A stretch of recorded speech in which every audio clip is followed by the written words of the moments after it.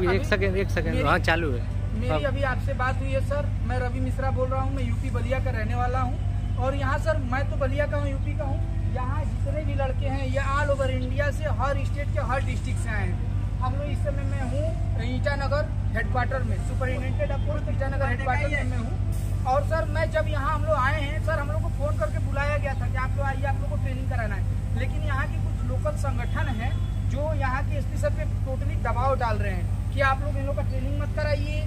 यहाँ पे आप लोग इन लोगों का ज्वाइनिंग मत कराइए।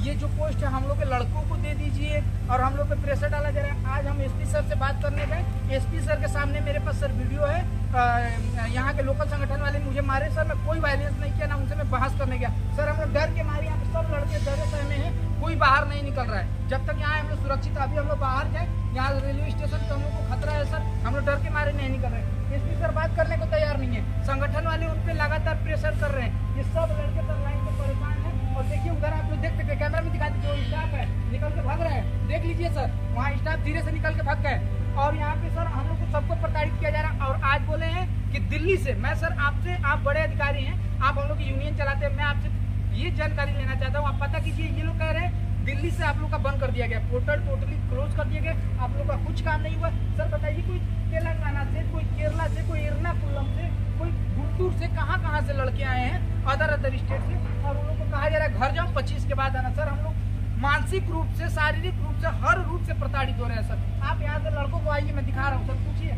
किसी से पूछ लीजिए। ये हमारे भाई हैं, इनसे इनको फ़ोन करके बुलाया गया था। बताइए आपकी समस्या को, क्या बोला गया? बोला गया था कि 25 से पहले आकर ट्रेनिंग कर लेना है आप लोग को। अभी मैं ट्रेनिंग करने गया तो हम लोग की आधा ट्रेनिंग कंप्लीट हुआ था। उसमें बोला गया कि आप जो है सो, अभी आप लोग जो है सो बाहर चले जाइए, हम लोग का मीटिंग है। तो हम लोग को वहाँ से बाहर कर दिया गया। उस समय से बोले दो बजे के आसपास आपकी ट्रेनिंग होगी। दो बजे के बाद आप बोल आप बोल रहे हैं कि अब पच्चीस के बाद आना। अभी कोई ट्रेनिंग वेनिंग नहीं होगी। और एक बात मैं कहना चाहूँगा, सर, हम लोग को डर है कि पच्चीस के बाद बुला रहे हैं और डर ये है कि पच्चीस के बाद हम आए तो हम लोग को ये, हम लोग पे ब्लेम ना कर दे कैंडिडेट रद्द कर देंगे। क्योंकि ये लोग ना लिखित दे रहे हैं, ना कहीं बयान कर रहे हैं कि तुमको पच्चीस के बाद आना है।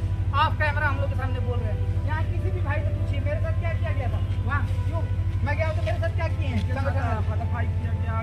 दो चाटा मारा गया सर। आप अभी मैं, सर, आपसे मैं बात किया हूँ। आपसे बात किया हूँ। आपने बोला, बेटा, आप लोग को वायलेंस नहीं करना है। हम बिहेव कर रहे हैं हम लोग नहीं करेंगे, सर वायलेंस हम लोग वायलेंस वाले लड़के नहीं, हम लोग पंद्रह सौ, अठारह सौ किलोमीटर दूर से आए वायलेंस करने नहीं आए सर। आपसे रिक्वेस्ट हम लोग को संभालिए, सर। हम लोग सब कहीं ना कहीं आपके साथ जुड़े हुए हैं, सर। धन्यवाद।